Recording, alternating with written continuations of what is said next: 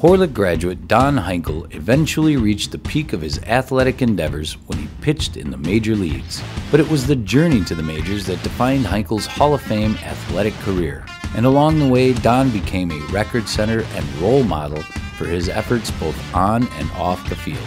The part of pitching that I really enjoyed was kind of the chess match between the pitcher and the, and the hitter.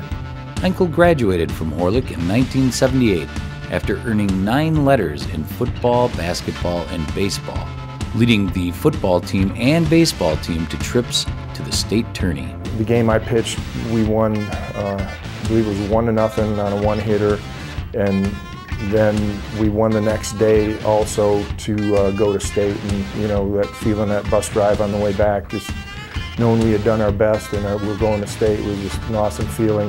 In 1978, Heinkel was drafted to the Kansas City Royals, but turned it down instead to attend Wichita State University.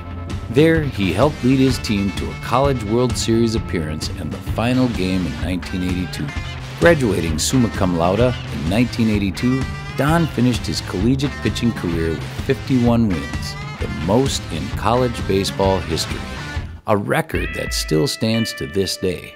You know, I'm glad I got the record, but it was really uh, a byproduct of the team that we had there. He was an All American selection that season and an All American academic selection. Heinkel was drafted in 1982 by the Detroit Tigers and worked his way through the Tigers minor league system to a major league debut in 1988. They brought me over uh, to pitch an inter-squad game against the Tiger hitters.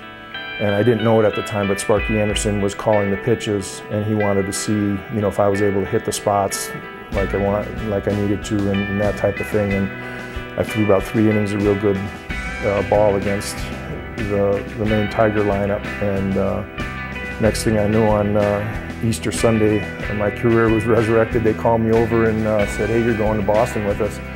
He recorded one save in 21 appearances with the Tigers in 88 and was 1 to 1 in seven contests with the Cardinals in 89.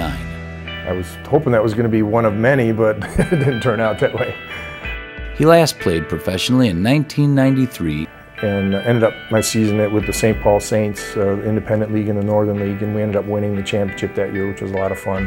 One of the most accomplished student athletes ever to attend Horlick, Heinkel graduated sixth in his class.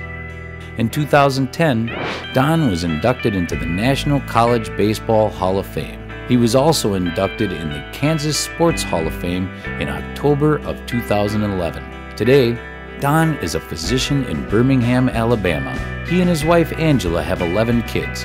Considering we weren't supposed to be able to have kids, uh, medically speaking, we shouldn't have been able to, but the, the Lord did a healing, and uh, so we've got seven boys and four girls.